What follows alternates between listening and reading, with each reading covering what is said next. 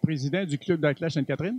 Alors, nous sommes présentement à Sainte-Catherine de Jacques-Cartier sur le site euh, du parc de glisse du Grand Héron, où nous tiendrons l'événement euh, la troisième année. Alors, c'est la finale des Dorbés d'attelage euh, du Québec, sanctionnée par l'Association des Dorbés d'attelage du Québec et bien sûr par le Cheval Québec, qui est l'association provinciale. Aujourd'hui se dérouleront devant vous une, compétition de d'attelage, évidemment, rapidité, précision et bien sûr je vous dirais, vitesse.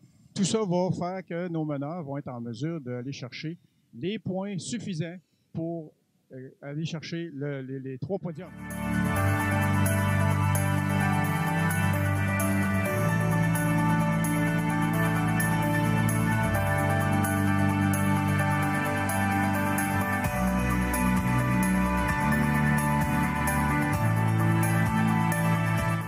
Bonjour, je m'appelle Eugène.